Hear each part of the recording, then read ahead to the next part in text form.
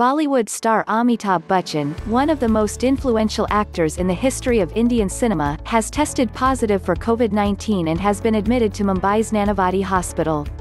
His son, actor Abhishek Bachchan, whose Amazon original series, Breathe, Into the Shadows, bowed on Prime on Friday, has also tested positive. I have tested COVID positive, shifted to hospital, hospital informing authorities, family and staff undergone tests, results awaited. Bachchan tweeted Saturday evening. All that have been in close proximity to me in the last 10 days are requested to please get themselves tested. Earlier today both my father and I tested positive for COVID-19. Both of us having mild symptoms have been admitted to hospital.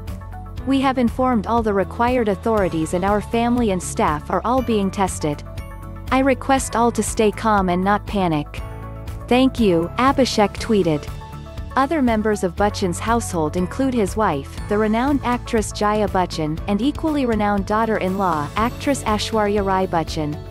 Bachchan's last film, Gulabo Sitabo, bypassed cinemas and bowed directly on Amazon Prime in June, as cinemas across India remain shuttered due to the coronavirus pandemic.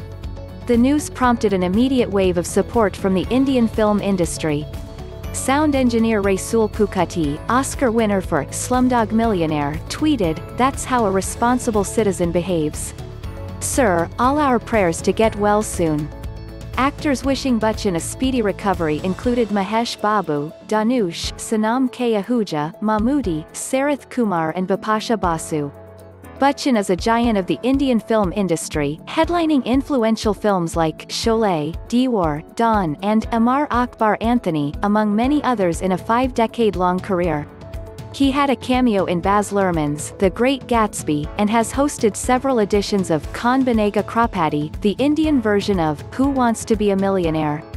With 850,000 positive cases, India is now the third highest coronavirus-affected country in the world, after the US and Brazil. There have been 22,687 deaths so far, according to official figures. Want to read more articles like this one? Subscribe today.